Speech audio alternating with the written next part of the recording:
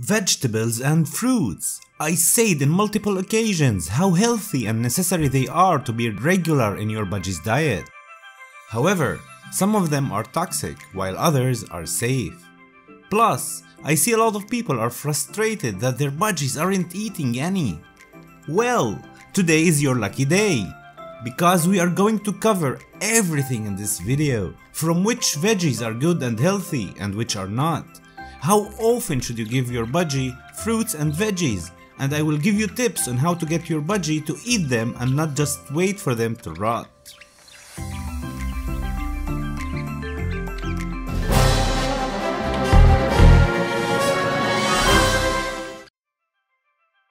Fruits and vegetables are very important in your budgie diet and if you remember from the video a while ago, they consist 25% of your budgie's diet. I'll keep a link in the description for that video. Veggies, they are one of the most important keys in keeping your budgie healthy. They contain many vitamins that are necessary in your budgie's diet. That's why giving your bird veggies on a daily basis is healthy and not to mention leafy greens like lettuce for example. These type of veggies can provide your budgie with not only the benefits of the vegetable itself, but also they can be sort of a mini bath where your budgie will play, bath and have fun while eating a healthy diet. You see in the wild, budgies will look for this kind of vegetables with large leaves. After rain, these vegetables will keep some of the raindrops where your budgies can rinse themselves on them.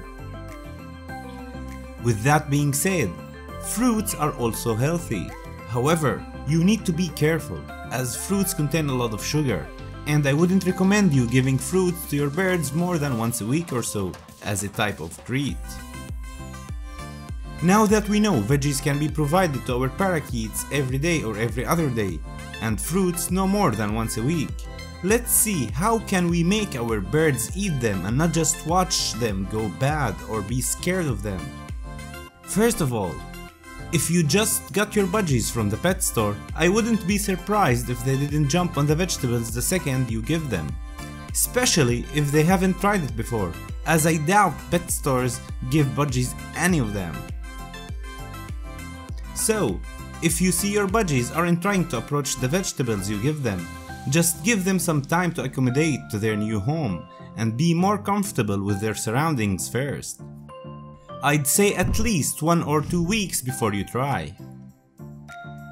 Now after that period of time, or if your budgies have been in your place for a long time and still wouldn't eat veggies, what do we do? There are many tricks on the internet, like putting some of their seeds on the veggies to get your budgie to taste them when he goes to eat his regular food. Or show your budgie that you are eating the fruit to let him know it's safe.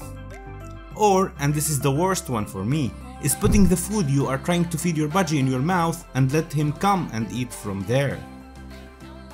Not only these have been proven ineffective in my experience, but putting the food in your mouth is actually dangerous for your budgie, because mammals have some type of bacteria in their saliva that could be lethal to birds.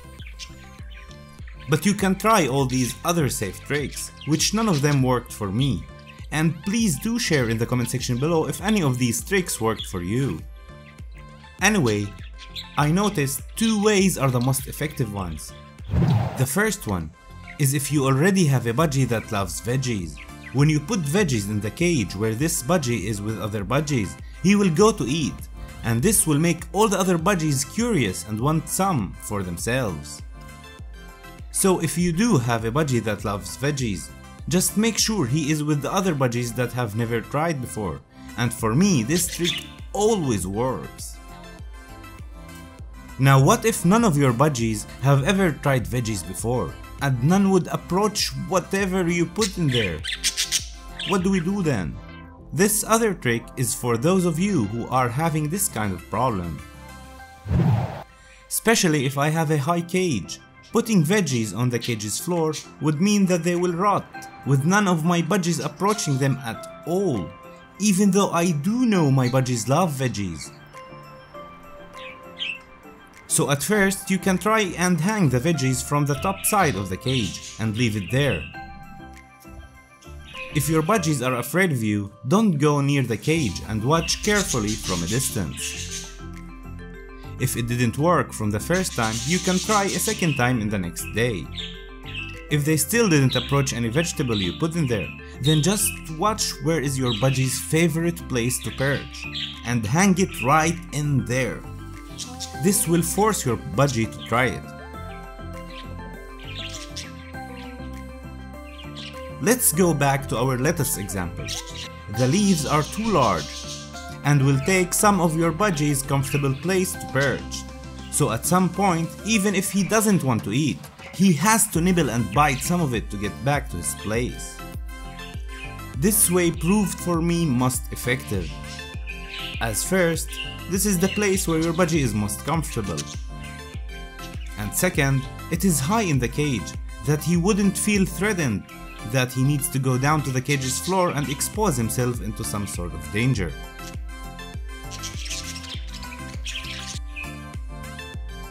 But of course, before trying and giving your budgie any fruits or veggies, you need to make sure that they are safe and non-toxic to your birds. Now if I want to name every single type of vegetable and fruit in this video, then this video will be a very long video. And also, even if you did watch till the end and got all the information you needed. You might forget if a specific fruit is safe or toxic, and when you come back to the video, you wouldn't know even where to start and look for it.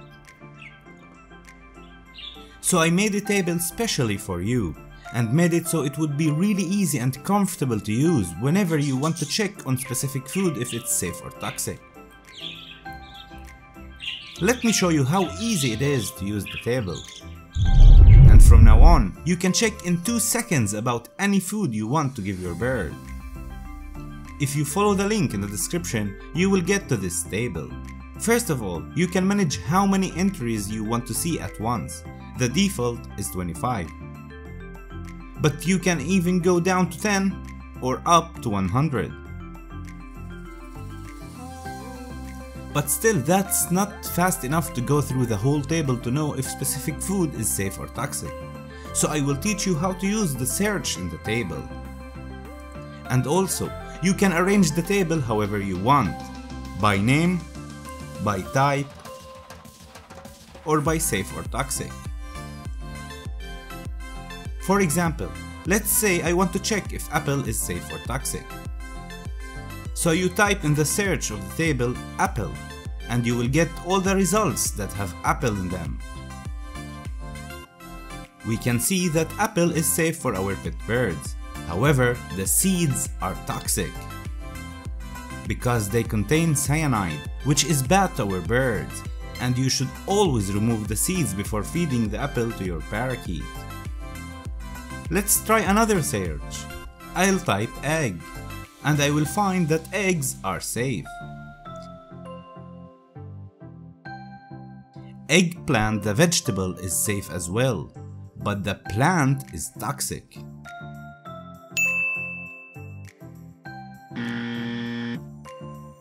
And last trick, let's say you want to feed your budgie a vegetable, but you only want to see the safe vegetables. You are not interested to see the toxic ones. So you type in the search safe of course, that brings all the results that are safe from nuts, seeds, fruits, to everything. So the next word is vegetable. And now you can see only the safe vegetables you can feed your budgie. The same goes for fruit. You can type instead of vegetable fruit and you will see all the safe fruits. I hope this was helpful as we covered how often should we give our budgies fruits and veggies, how to know if they are toxic or safe, and how to make our budgies start eating them.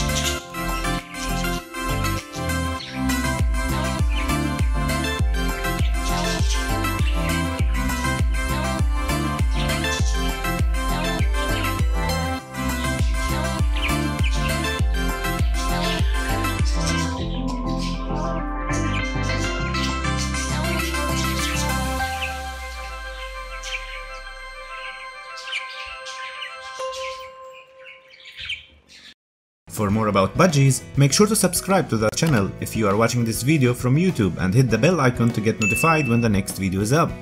Or like the Facebook page if you are watching this video from Facebook.